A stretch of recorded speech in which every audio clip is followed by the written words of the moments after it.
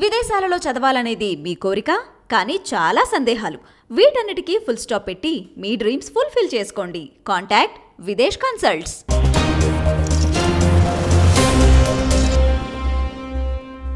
Andhra Pradesh Congress పార్టీకి మంచి రోజులు వస్తున్నాయంటూ ఆ రాష్ట్ర కాంగ్రెస్ వ్యవహారాల incharge AICC secretary Manickam Tagore బుధవారం నాడు కామెంట్ చేశాడు దాన్ని బట్టి మనం ఏమర్థం చేసుకోవాలంటే ఆంధ్రప్రదేశ్లో కాంగ్రెస్ పార్టీ ఇక పుంజుకోబోతోంది.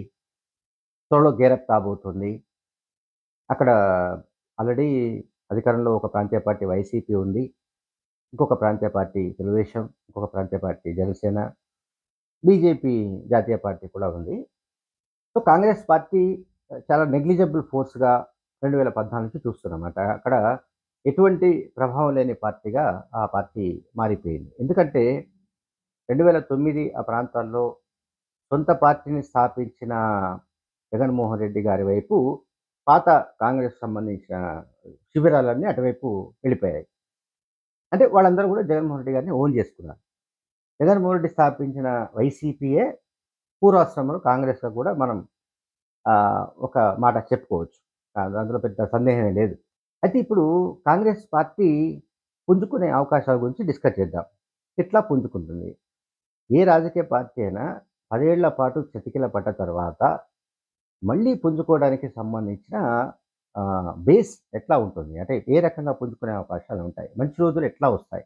అంటే ఇప్పుడు మొత్తంగా చెడ్డ రోజులు చూస్తూ వస్తుంది అక్కడ కాంగ్రెస్ పార్టీ. ఇప్పుడు హఠాత్తుగా మంచి రోజులు రావడానికి ఏం జరిగే అవకాశం ఉంది అన్న దానిపైన మనం ఆలోచించాలి. తాజాగా వస్తున్న వార్తలు వార్తా కథనాలు జరుగుతున్న ప్రచారం అంతా ఏంటంటే జగన్మోహన్ రెడ్డి గారి సోదరి వైఎస్ షర్మిల ఆంధ్రప్రదేశ్ పార్టీ పగ్గాలు చేపట్టబోతున్నారని ఆంధ్రప్రదేశ్ కాంగ్రెస్ పార్టీకి సారథ్యం తీసుకోబోతున్నారని కాబట్టి ఇంకా ఆంధ్రప్రదేశ్లో కాంగ్రెస్ పార్టీ దుమ్ము లేచిపోతుంది. ఇది జరిగే పని కాదని నేనైతే అనుకుంటున్నాను.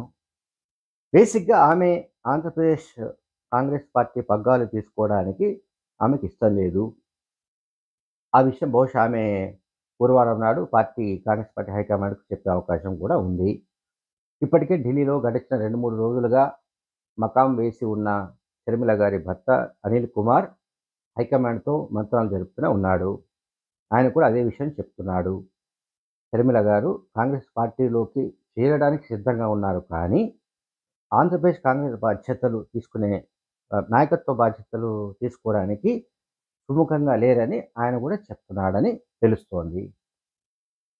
సరే ఆమె వచ్చిన తర్వాత అమరావతికి అనుకూలంగా ఒక బహిరంగ సభ అంటే అమరావతి రాజధానిగా ఉండాలి అనే అనే డిమాండ్ ఉందో ఆ డిమాండ్ ప్రాతిపదికన ఒక బహిరంగ సభను అమరావతిలోను అలాగే విశాఖ స్టీల్ ప్లాంట్ ప్రైవేటీకరణ ప్రయత్నాలకు వ్యతిరేకంగా ఒక బహిరంగ సభ విశాఖపట్నంలోనూ జరపడానికి ఇప్పటికే కొన్ని ప్రణాళికలు ఏవో కాంగ్రెస్ పార్టీ హైకమాండ్ రచిస్తోంది.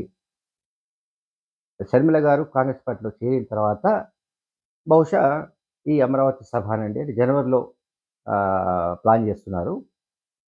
సో ఈ సభకు అమరావతి సభకైతే రాహుల్ గాంధీ ప్రియాంక గాంధీ కూడా వచ్చే అవకాశం ఉన్నట్టు తెలుస్తోంది. ఇక ఆమె మొత్తంగా అంటే షర్మిల గారు కాంగ్రెస్ పార్టీలో చేరడం ఇక దాదాపు లాంఛనమే. దానికి తెలంగాణలోనే ఆమె తెలంగాణ కోడలుగా చెప్పుకొని ప్రచారం చేసి తెలంగాణలో వైఎస్ఆర్ తెలంగాణ పార్టీ అని పార్టీని పెట్టి సుదీర్ఘ పాదయాత్రలు చేసి చివరికి విఫలమై రాజకీయంగా ఆమె చివరకు ఎటువంటి ఏమంటాము ఎదగలేక చివరికి చేతులు ఎత్తేసి ఆ పార్టీని కాంగ్రెస్లో విలీనం చేయాలని అనుకున్నప్పుడు ప్రస్తుత ముఖ్యమంత్రి రేవంత్ రెడ్డి గారు మరికొంతమంది తెలంగాణ వాదులు ఆమె విలీనం ప్రయత్నాలను అడ్డుకున్న విషయం కూడా తెలుసు. అందువలనే రేవంత్ రెడ్డి అంటే ఆమె ఫైర్ అవుతారు. రేవంత్ రెడ్డి అంటే ఆమెకు ఆమెకు గిట్టదు. ఆమెకేవో కొన్ని ఉన్నాయి కొన్ని అభిప్రాయాలు ఉన్నాయి ఆమెకు. రేవంత్ రెడ్డి మీద కొన్ని అభిప్రాయాలు ఉన్నాయి ఆమెకు. అది వేరే విషయం. సో రేవంత్ రెడ్డి గారికి షర్మిల గారికి పడకపోవడం పడడం అనేది తెలంగాణకు సంబంధించిన వ్యవహారం. ఇక్కడికి ఇప్పటికే అయిపోయింది క్లోజ్ అయిపోయింది. తెలంగాణలో కాంగ్రెస్ పార్టీ అధికారంలోకి వచ్చింది. సో షర్మిల గారు ఏం చేయాలి? రాజకీయంగా ఆమె మళ్ళీ ఇంపార్టెంట్ ఎక్కడ వచ్చినా క్రియాశీల రాజకీయాలు చేయాలి. చేయాలంటే ఆంధ్రప్రదేశ్లో వెళ్ళాలి అని వాళ్ళు హైకమాండ్ కోరుతున్నారు.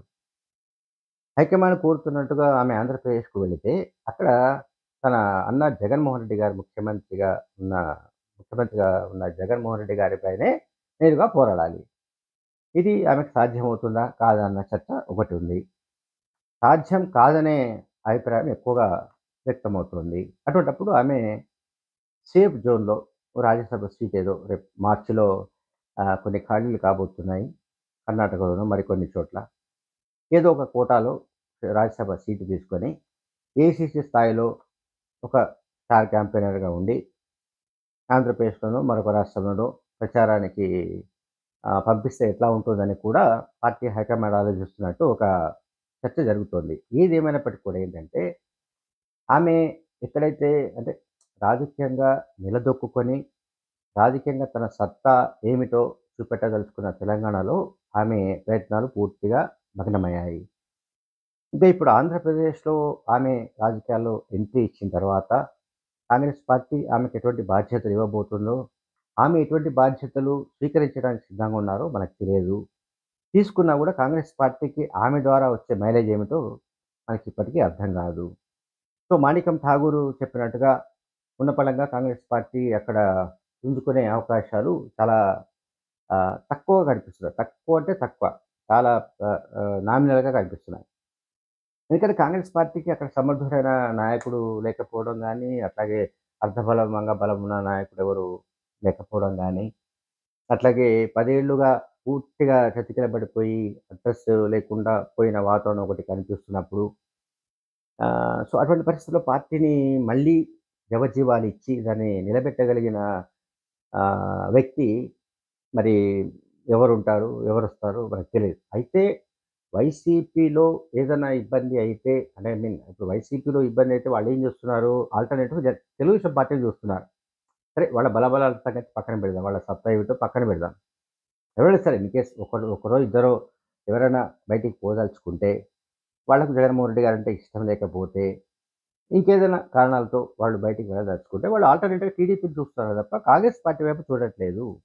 బీజేపీ వైపు చూడట్లేదు. ఎందుకంటే ఈ రెండు పార్టీలు కూడా రెండు వేల పంతొమ్మిదిలో చూపించిన పెర్ఫార్మెన్స్ అత్యంత దారుణంగా ఉంది. నోటా కంటే ఈ రెండు పార్టీలకు తక్కువ ఓట్లు పడ్డ విషయాన్ని అందరికీ ఆ విషయం అందరికీ తెలుసు. అటువంటిప్పుడు ఆ పార్టీలు ఆ, పార్టీల వైపు ఆల్రెడీ ఇప్పటికే రాజకీయాల్లో ఉన్న వాళ్ళు కానీ లేకుంటే ప్రజాప్రతినిధులు కానీ చూస్తారని ఎవరు అనుకోవడం లేదు. అటువంటిప్పుడు మాణికం ఠాగూర్ చేసిన ప్రకటన వెనుక కారణాలు ఏమి ఉండొచ్చు? మరి ఎటువంటి మార్పులు మునుముందు సంభవించే అవకాశం ఉంది? సో గడిచిన కొద్ది రోజులుగా వస్తున్న ఒక ప్రచారం ఏదేంటంటే టీడీపీ అధ్యక్షుడు చంద్రబాబు నాయుడు కూడా కాంగ్రెస్తో చేతులు కలపడానికి ప్రయత్నాలు చేస్తున్నట్టు ఒక ప్రచారం ఉంది. మరి అది కూడా నిజమే అవకాశం ఉందా అనేది కూడా మాణికం ఠాగూర్ చేసిన ప్రకటన నుంచి అంటే బిట్వీన్ ద లైన్స్ చూస్తే ఆలోచించాల్సిన పరిస్థితి ఏర్పడుతుంది. Thank you